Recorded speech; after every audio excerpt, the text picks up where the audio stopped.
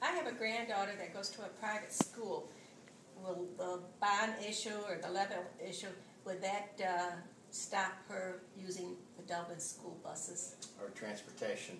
Um, Well, first of all, I think there's a misconception that if my son or daughter is at a, a private, you know, school or parochial school, that um, this really levy doesn't concern me.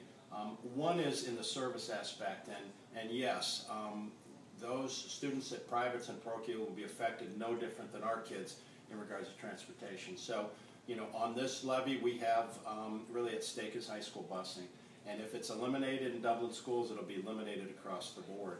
Also, you'll see more group and group stops and adjustments at middle school and elementary. So it will be very different across the board. Um, the other piece, if, if you're, you know, you don't have a, a a student that's in the Dublin schools and you think, why should I pass this?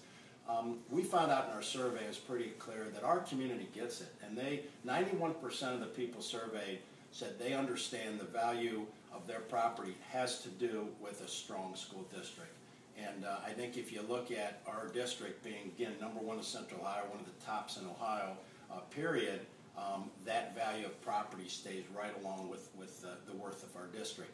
We've got businesses that continually, when they're hiring, they want to they want literature from the school. They want to bring their employees who they're interviewing uh, by, so they can look at the schools and, and look at our data to see what we're doing. Uh, but again, to get back to your, your initial and original question, um, we would, um, and by law, we would um, and have to treat the busing like from public to the, the privates and parochials. Uh, so high school busing across the board would be eliminated, and you'd see adjustments at middle school and elementaries too.